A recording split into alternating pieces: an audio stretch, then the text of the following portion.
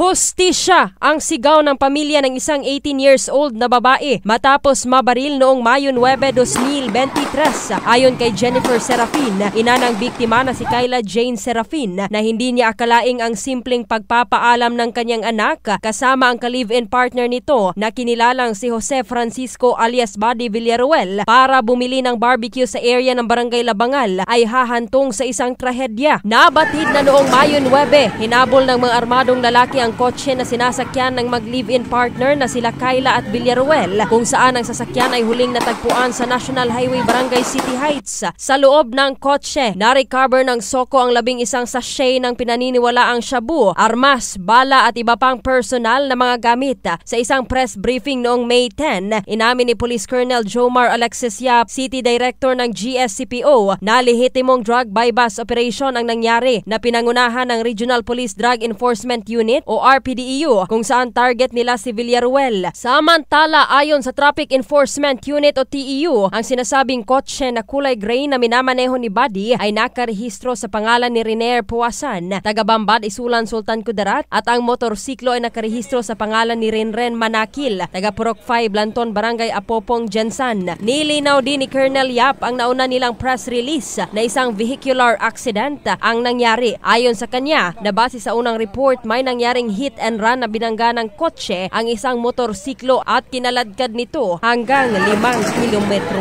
During the time na nagkakaroon kami ng habulan ng pursuit doon sa tumatakas na sasakyan at kinakaladkad ngayong motorsiklo, ay uh, nag, na, pinaabot sa amin yung coordination ng uh, Regional uh, Drug Enforcement Unit.